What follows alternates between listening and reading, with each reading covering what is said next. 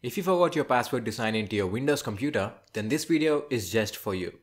In this video, we'll see how to reset the password of a Windows PC without having any administrative access and without losing any of your files. We'll be using a software named PassFab for WinKey, who are also the sponsors of this video. This is a great software to remove or reset your Windows account password, or even add or delete your existing Windows accounts from your computer without having any administrative access. Also, this is a paid software. And if you're thinking why you should use a paid software to reset a Windows PC, the reason is this software works in almost all scenarios and it is very easy to use. One more thing, this is safe. You will not end up corrupting your computer or losing any of your files. However, I'm giving away some premium serial keys for the software. So if you want to get one of these, watch the video until the end. The instructions will be mentioned at the end of this video. So let's get started.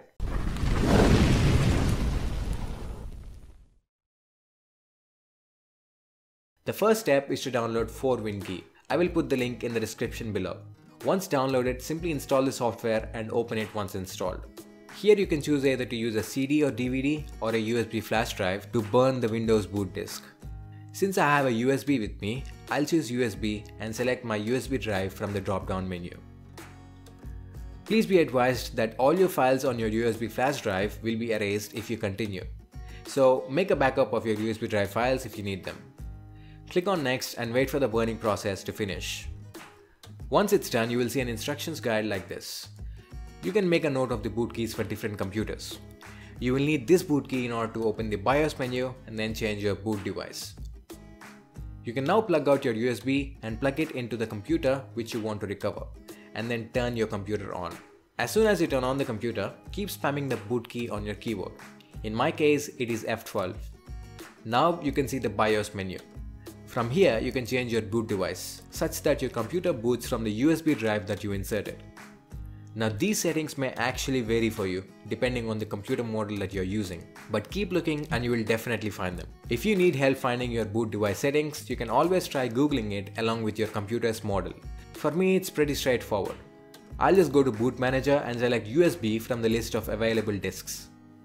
And now the computer boots from the USB drive.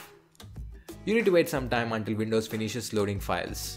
Once it's done, you will see the interface of 4WinKey like this. Here, select the Windows system that you want to recover and click Next. Now you will see all the accounts that are available on your Windows operating system. You need to choose an account whose password you want to change or remove. You can also remove an existing Windows account or add a new Windows account using this software. I want to reset the password of this account named Tejaswaroop. As you can see, this is a Microsoft account and also an administrator. I'll just select the account and then select reset the password and click next. Now it prompts you to enter your registration code, or in other words, your serial key.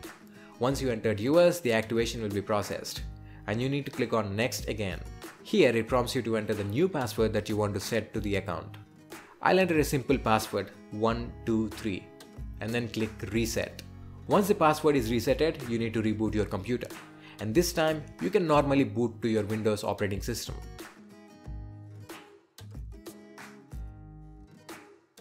And there you go. It says that your password is successfully resetted.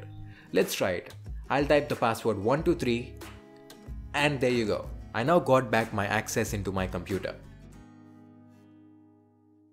So, time for the serial key giveaway.